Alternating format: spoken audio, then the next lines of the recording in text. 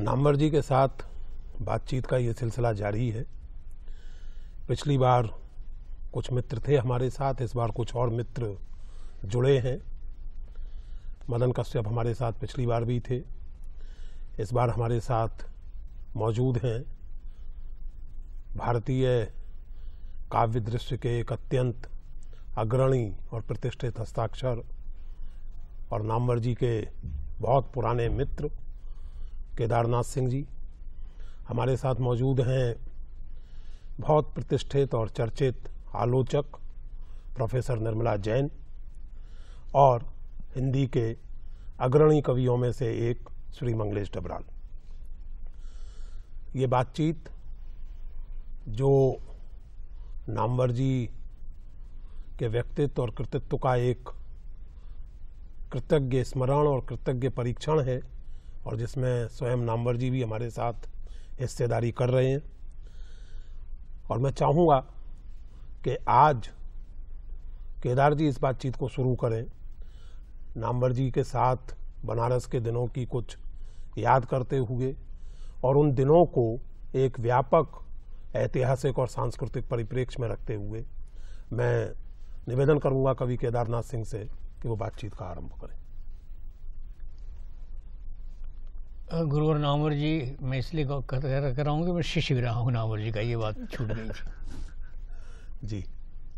तो मुझे तो उदय प्रताप कॉलेज के साथ नामवर सिंह का स्मरण जुड़ा हुआ लगता है। पहली बार मैंने उनको वहीं देखा था। सुना भी था बल्कि सुना पहले था देखा ठीक से बाद में। और वो अगर मैं भूलता नहीं तो तान के सोता रहा जल चादर वायु सा खींच जगा गया कोई, ये सवैया। उन दिनों बहुत लोकप्रिय था पूरे माहौल में और हर किसी की स्मृति में था। शायद ये आज बात बात थोड़ी लोगों की समझ ना आए, नामर जी बहुत अच्छा गा के पढ़ते थे। उसके बाद वो कंठस्वर सुनने को मिला नहीं। और कुछ और कविताएँ जो उन दिनों मैगजीन में छपा करती थी, वो मेरे स्मरण में। यानी नामवर जी को कवि रूप में पहले उस कॉलेज ने जाना था। उनका आलोचक रूप बाद का विकास है, और बड़ा विकास हम सब जानते हैं। मैं जानना चाहूँ कि उदय प्रताप कॉलेज ने नामवर जी को क्या दिया? इस पर थोड़ा अगर विस्तार से बात करें तो अच्छा होगा। हाँ उदय प्रताप कॉलेज एक तरह से मेरी पहली पाठशाला है। साहित्यिक पाठशाला। शिक्षा की तो थी ही। और उस कॉलेज में साहित्यिक परंपरा के प्रमाण यह है कि शंभुनाथ सिंह हम लोगों से बहुत पहले रह चुके थे। हम्म। सागर सिंह थे। तो दो कवि जो काशी में जाने जाते थे और काशी के बाहर भी शंभुनाथ जी। और वहाँ कवि सम्मेलन तो होते ही थे। वहाँ त्रिलोचन जी अक्सर आते थे हम्म। त्रिलोचन जी ने काव्य पाठ किया था हमारे आठवें छात्रावास में मुझे याद है साहित्यिक साहित्यिक लोग आते थे मसलन आमतौर से कहानी प्रतियोगिता की अध्यक्षता करने और पुरस्कार देने के लिए प्रेमचंद आ चुके हैं वहाँ हम्म। प्रसाद जी भी आए थे हाँ? सुना, ऐसा सुना था जयशंकर प्रसाद रामचंद्र शुक्ल हाँ और आचार्य शुक्ल आ चुके थे जयशंकर प्रसाद आए थे वहाँ इसलिए कि उस कॉलेज में साहित्यिक संस्कार वाले लोग थे। मार्कंडे सिंह जी हिंदी के अध्यापक थे और केवल वो उनकी सीमा विद्यालय तक ही नहीं थी। और स्वयं प्रिंसिपल जो जेपी सिंह थे वो अंग्रेज़ी साहित्य के हिंदी और रुचि लेते थे रस लेते थे। हम्म। तो एक तरह से पहली साहित्यिक पाठशाला वो थी और आगे चल कर के वहीं प्रगतिशील लेखक संघ की एक शाखा भी खुली अमृत राय वहाँ नियमित रूप से आते थे। मैं तो थोड़ा सा इसमें उसका नाम शायद अलग था उस प्रगतिशील संघ का बनारस प्रगतिशील लेखक संघ काशी प्रगतिशील काशी प्रगतिशील काशी प्रगतिशील तो ये नामांतर का कारण क्या था?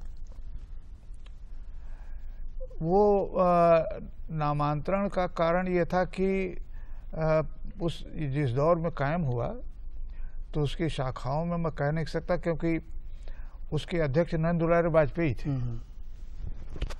और शायद वो बीच में बिखर गया था या ढीला पड़ गया था क्योंकि ये घटना है आ, सन इकतालीस बयालीस के बाद की। स्थापित हुआ हो तैंतालीस चौवालीस के आसपास।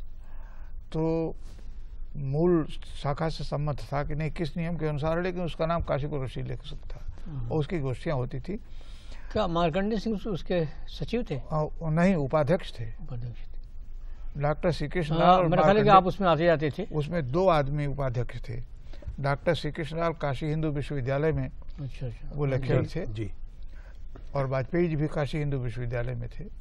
और मार्कंडे सिंह जी दूसरे। दो आदमी उसके दो उपाध्यक्ष थे। अध्यक्ष थे अ, जिसका नाम मैंने लिया वाजपेयी जी। अध्यक्ष हैं? नंदुलारे जी नंदुलाल वाजपेयी और सचिव थे अमृत राय। छोटी सी बात और चाहूँगी जल्दी में उसको निपटाएँ हम लोग। वाजपेयी जी का संबंध पी डब्ल्यू ए कहें सीधे सीधे हम। सो क्या किसी रूप में प्रत्यक्ष परोक्ष रहा है? क्योंकि वो उसी का एक- उसकी एक शाखा थी। निश्चित रूप से उस दौर में वाजपेयी जी इलाहाबाद से आए थे और बाद वाले नंदुलाल वाजपेयी और उस- नंदुलाल उस समय के नंदुलाल वाजपेयी में बहुत अंतर है क्योंकि आमतौर से जो जितने लोग थे वो प्रगतिशील विचारों के समाजवादी विचारों के या मार्क्सवादी विचारों के जुड़े हुए लोग थे। ज़्यादातर वही लोग थे प्रगतिशील लेखक संघ में। तो काशी प्रगतिशील लेखक संघ से जुड़ करके उसका नमूना मैं एक उदाहरण दे घटना का जी। जयशंकर प्रसाद की जयंती हमारे कॉलेज में मनाई जाती थी। और वाजपेयी जी को बुलाया गया था अध्यक्ष वो भाषण देने के लिए। ये घटना होगी सन तैंतालीस चौवालीस के आसपास चौवालीस की। वाजपेयी जी ने उसी में कामायनी को मध्यवर्ग का महाकाव्य कहा था।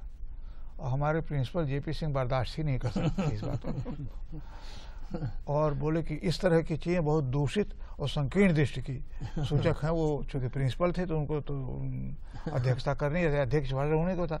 वाजपेयी जी ने पूरा भाषण मन को मध्यवर्ग का कहा था और शायद ये घटना पैंतालीस की है क्योंकि हंस में मुक्तिबोध का लेख छप चुका था। और मुक्तिबोध की वही लाइन थी जी। जो नंदलाल वाजपेयी ने ली थी।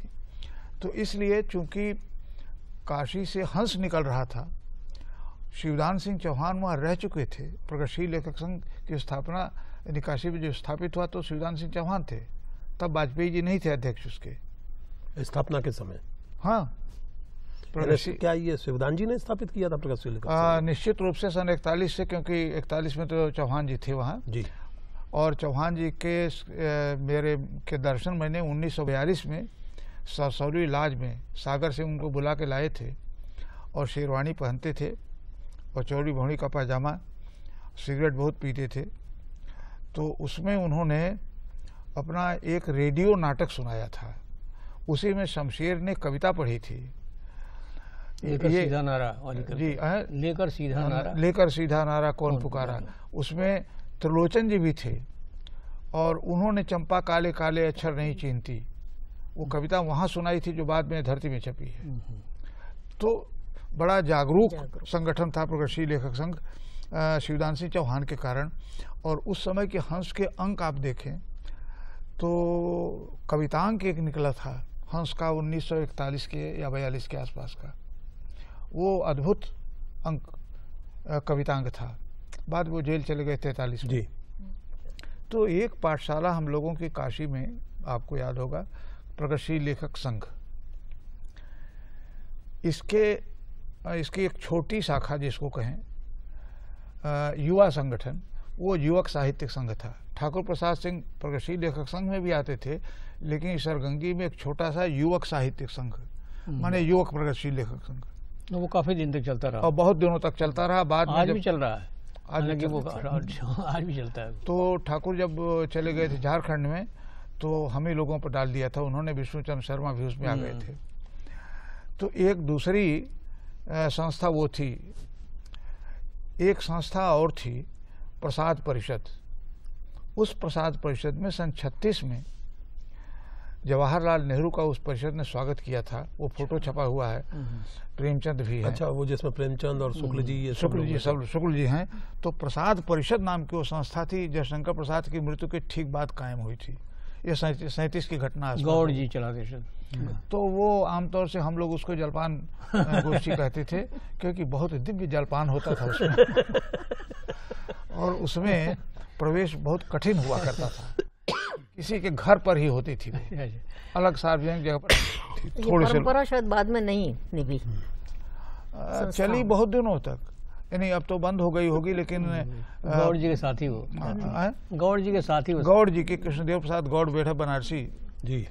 अब बनारस प्रसंग तो बहुत लंबा चलेगा। मैं हिंदू मिर्ज़ा पर हम लोग बाद में आएँगे लेकिन एक छोटी सी बात जोड़ के फिर उस उसका उस पर आपकी बात जान के आगे हम चाहेंगे आपने अभी तो कुछ तेरे बात पहले बात हो रही थी तो काशी विद्यापीठ का उल्लेख आया। काशी विद्यापीठ में भी आपको आना जाना था और वहाँ समाजवादियों का गढ़ था। उनके उनसे भी एक खास तरह का संबंध आपका बनता था बिजन शाही थे वहाँ अनेक लोग थे आ, क्या कभी उस दल से कोई नहीं कट्टे आपका किसी हुआ। पर बात यह है कि 1950 में जब हमारे गुरुदेव अजय प्रसाद जी द्विवेदी जुलाई 1950 में आए प्रोफेसर होकर के तो उनके संबंध आचार्य नरेंद्र देव जी से और बैजनाथ बैजनाथ सिंह विनोद के थ्रू तो थे ही। अ, तो वहाँ समाजवादियों की एक सभा हुई बनियाबाग में बहुत बड़ी। और उसी अवसर पर संकल्प लिया आचार्य जी ने कहा कि अब एक नव संस्कृति संघ की स्थापना करनी चाहिए क्योंकि प्रगतिशील लेखक संघ खत्म हो चुका था। ये जो सन सैंतालीस अड़तालीस की जो जी। बीटी रणदीवे लाइन थी तो उसके कारण उस समय अंडरग्राउंड हो गया इसके बाद टूट गया। तो वो जो एक शून्य था बनारस में ख़त्म हो गया प्रगतिशील लेखक संघ। तो जब ख़त्म हो गया तो ये हुआ कि एक नव संस्कृति संघ जो समाजवादी विचारों के लोग हैं उनको कायम किया जाए। तो नव संस्कृति संघ जब कायम हुआ तो उसका उद्घाटन समाजवादी पार्टी का अखिल भारतीय अधिवेशन हुआ था। उसके अंतिम दिन जब ख़त्म हो गया तो उसी मंच पर बेनियाबाग में अ, और द्विवेदी जी उसके अध्यक्ष बनाए गए। राम पुरी आए थे गंगा शरण सिंह थे। और वो एक घटना जब आपने कही तो मुझे याद आ गई। डीपी मुखर्जी को उद्घाटन करने के लिए बुलाया गया था। लखनऊ वो लखनऊ में थे। हम्म। सोशियोलॉजी में तो प्रोफेसर नहीं हुए थे वो। अच्छा, रीडर स्केल में थे। तो मुझे मेरे जिम में सौंपा गया कि लखनऊ मेल आती है शाम को पाँच बजे के करीब तुम जा करके उनको ले आओ।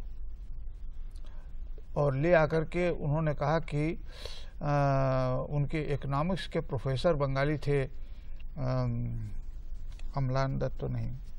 अभी उनका नाम याद आ जाएगा। अ, तो वो बी एच में उनका बंगला था। तो उन्होंने कहा कि हम उन्हीं के यहाँ जाएँगे। अभी नाम उनका भूल रहा हो इकोनॉमिक्स में प्रोफेसर थे। तो धुरजटी वो प्रसाद मुखर्जी को मैं लेके वहाँ गया कैंपस में। बल्कि गाड़ी, कार उन्हीं की थी। उन्होंने उद्घाटन किया था। और उद्घाटन के बाद नव संघ संघ संघ स्थापित हो गया। स्थापित होने के बाद उसके अध्यक्ष पंडित जी थे। मैं उसका सचिव बना। उसकी बैठकें काशी विद्यापीठ में होती थी। तब तक विजय देवनारायण शाही भी वहाँ आ गए थे। शंभुनाथ सिंह भी वहाँ थे। और जनवाणी नाम की पत्रिका आचार्य जी ने आचार्य नरेंद्र देव की दिलचस्पी पहल थी तो गढ़ था विद्यापीठ। प्रगतिशील लेखक संघ के न रहने पर नव संस्कृति संघ नाम की संस्था जो मोटे तौर से कुछ समाजवादी विचारों की पत्रिका थी तो मैगजीन भी उसके पास थी उसकी गोष्ठियाँ होती थी बहसें होती थी और उसमें हम लोग भाग लेते थे। और मेरा ख्याल है आप भी उसमें आए होंगे आपने कविता पर ज़रूर पढ़ी होगी। आया था कभी लेकिन मैं उसका सर से कभी नहीं था क्योंकि मैं तो उस समय भी शुरू शुरू कर रहा था। हाँ वो- वो छोटी कक्षा में थी। हाँ। लेकिन तब वो नव संस्कृत कई वर्ष तक चला और मैंने मेरे लेख- अलगाव कैसे हुआ ये जानना चाहूँगा उसके बाद हम लोग अब अगले राउंड बात और जो वैचारिक टकराहट परिबल पे जाकर शुरू हुई थी क्या उसकी शुरुआत वहीं हो गई थी या फिर बाद में नहीं वाले। वो- नहीं परिमल से उसका कोई सीधा संबंध नहीं था। मैंने कहा लेकिन परिमल के लोग चूँकि विजय देवनाथ शाही अच्छा तब तक विजय देवनाथ शाही परिमल में नहीं थे। बनारस में थे तब तक तो बनारस में ही थे वो। इलाहाबाद के विद्यार्थी थे लेकिन उनको नौकरी नहीं मिली अंग्रेज़ी विभाग में तो उनको विद्यापीठ में नौकरी मिली। हम्म, और विद्यापीठ में तीन चार साल तक रहे। विद्यापीठ के बाद वो गए इलाहाबाद में तब परिमल में सक्रिय हुए और परिमल का तो मज़ाक उड़ाते थे शाही। शुरू में अच्छा ये अ, शाही परिमल के लोगों का मज़ाक उड़ाते थे क्योंकि उनके विचार जो थे वो समाजवादी हाँ, विचार थे। विचार। जी। अ, नामवर जी के प्रसंग में बात होगी तो बनारस बार बार लौटेगा ही। लेकिन जैसा कि केदार जी ने अभी संकेत किया, हम थोड़ी देर के लिए कुछ और बात करने का प्रयत्न करें। मैंने अभी थोड़ी देर पहले कहा था कि कृतज्ञता के साथ स्मरण, नामवर जी के काम का, नामवर जी की उपलब्धियों का। क्योंकि व्यक्तिगत रूप से ये मानता हूँ मैं कि नामवर जी केवल साहित्यिक आलोचक नहीं और केवल पब्लिक इंटेलेक्चुअल भी नहीं, बल्कि एक बहुत गहरे में समाज और संस्कृति के बारे में बहुत हस्तक्षेप मूलक ढंग से सोचने वाले व्यक्ति अपने लेखन के पहले दिन से रहे हैं। और इसलिए समूचे हिंदी समाज के सोच विचार में और हिंदी समाज की गतिविधियों में नामवर जी की मौजूदगी तो रहती ही है, उनके कामों के प्रति, उनकी बातों के प्रति एक उत्सुकता भी रहती है। विवाद मूलकता, अंग्रेज़ी मुहावरे का सहारा लेके कहें तो नामवर जी का दूसरा नाम है। एक पुस्त एक संकलन का नाम ही है वाद विवाद संवाद। और आज हमारे बीच वरिष्ठ आलोचक निर्मला जी मौजूद हैं। नामवर जी आलोचना को एफ़ आर लिविस को याद करते हुए कॉमन परस्यूट्स कहते रहे हैं। और उस कॉमन परस्यूट के ये दो संवादी और यदा कदा विवादी भी हमारे साथ हैं। तो मैं चाहूँगा कि पहले तो निर्मला जी नामवर जी के आलोचना कर्म पर एक और उसके महत्व पर एक संक्षिप्त टिप्पणी करें। और उसके बाद नामवर जी को एक बार फिर से प्रवोक करें आलोचना के प्रसंग में कुछ कहने के लिए। नहीं टिप्पणी करने से पहले आ, मैं नामवर जी से एक सवाल करना चाहूँगी। लौटती हूँ चालीस साल पहले नामवर जी जब दिल्ली में आए तो उनके साथ छायावाद पुस्तक के लेखक के रूप में और कहानी वाली पुस्तक के लेखक के रूप में उनकी ख्याति आई।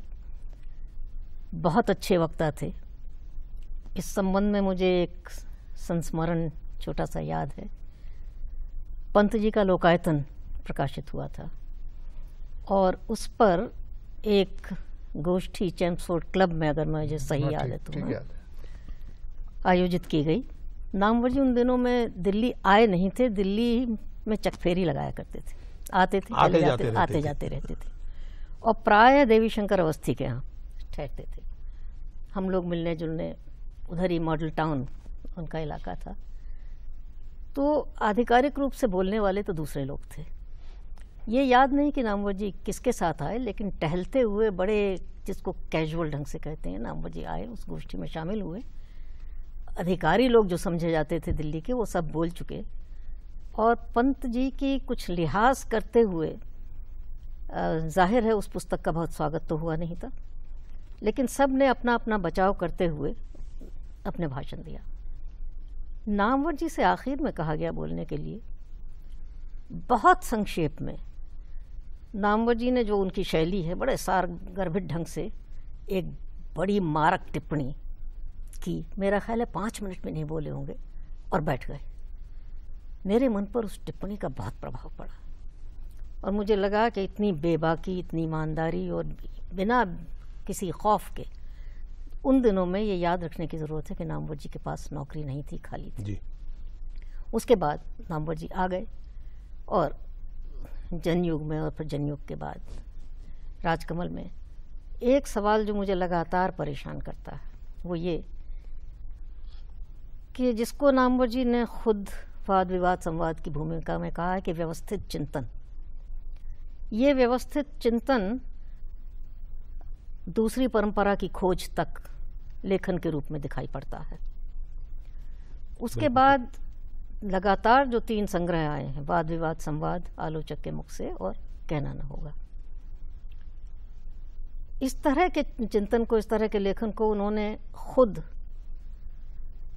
अवसर से उद्भूत लोकाच का हवाला देते हुए शायद वाद विवाद संवाद की भूमिका में खुद कहा है कि ये अवसर से उद्भूत चिंतन है।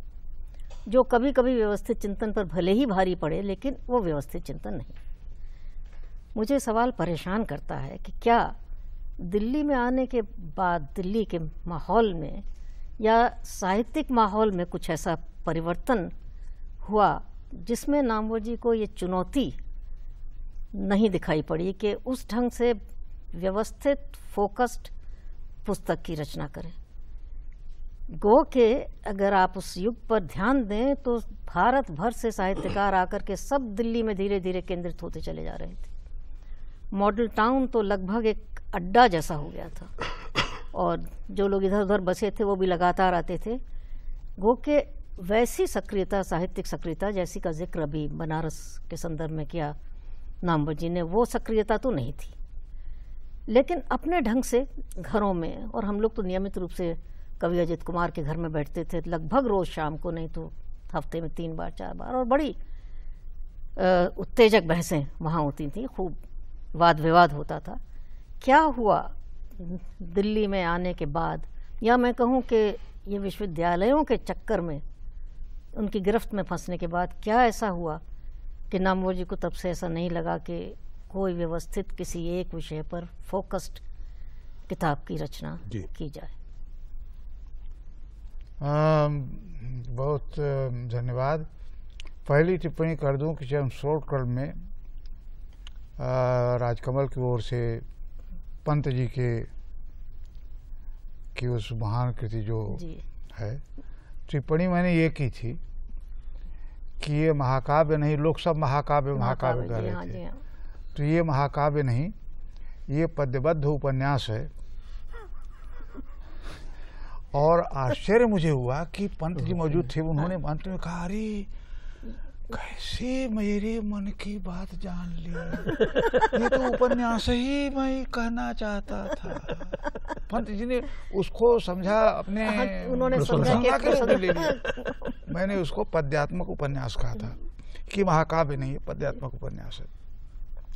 एक बात तो ये हो गई दूसरी बात ये कि हम्म, जैसा आपने कहा कि जम करके कि कुछ फुटकर ये चीज़ें लिखी अब से लेने नहीं लेना चाहती।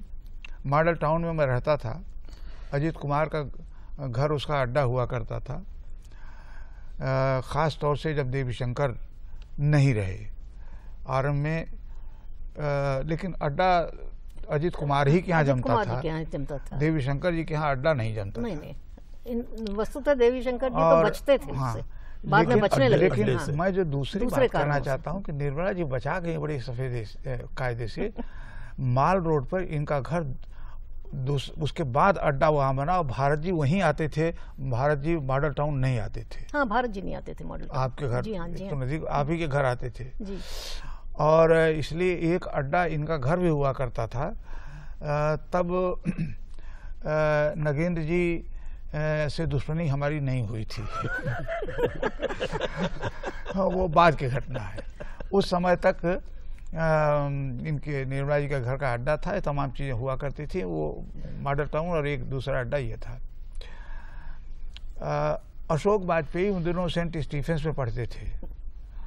तो अक्सर देवी शंकर जी के घर पर आते थे अजित कुमार के यहाँ भी आते थे। मेरे घर नहीं आते। नहीं नहीं आपके घर तो नए प्रतिमान तब तक नहीं आया नहीं नहीं बिल्कुल नहीं। तब नहीं तो बता रहा हूँ।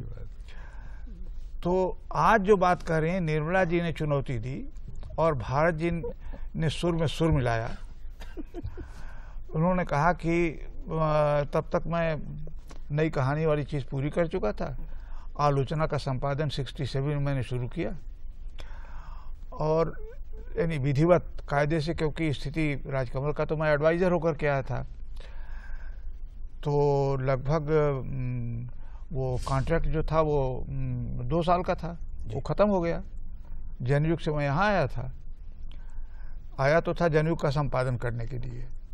बीच में राजकमल से ओम प्रकाश जब चले गए शीला जी के हाथ में आया तब उन्होंने पार्टी के ज़रिए कहलाया कि भाई हमको एक चाहिए हमको तो कोई जानता नहीं है हिंदी की दुनिया में हमारी विश्वसनीयता नहीं है तो कोई आदमी दीजिए। तो मैं राजकमल गया। पैंसठ की बात है। पैंसठ की बात राज और पैंसठ से सड़सठ तक मैंने सलाहकार वाला काम किया उनके यहाँ। आलोचना चौहान जी निकाल रहे थे और उनके साथ अम, करार था कि चार अंक स्वातंत्रोत्तर हिंदी हाँ। साहित्य के चार अंक निकालेंगे वो चार खत्म हो गए।